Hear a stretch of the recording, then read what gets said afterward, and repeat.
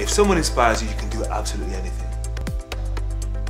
Inspiration is about digging into your soul, feeling something, seeing something out there, and it resonating with you to the point where you put in an effort, you go the extra mile, you do something that you wouldn't otherwise do because of how you feel, because of how you've been touched by someone's speech, by what you've seen on TV, by how someone's come across to you.